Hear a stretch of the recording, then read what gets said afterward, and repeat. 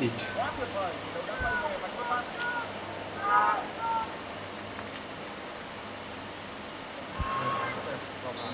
tuyệt đặc biệt khi được xem đấu này anh ta là một cầu thủ có kỹ thuật cá nhân rất tốt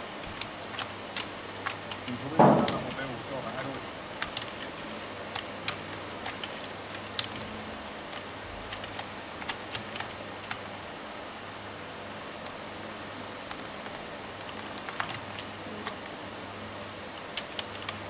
đội là Mendy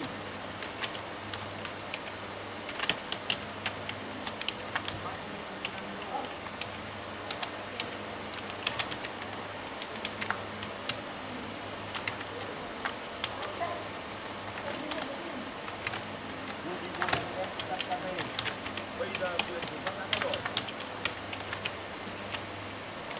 chúng ta tôi đang chuẩn bị rất ra ngoài đây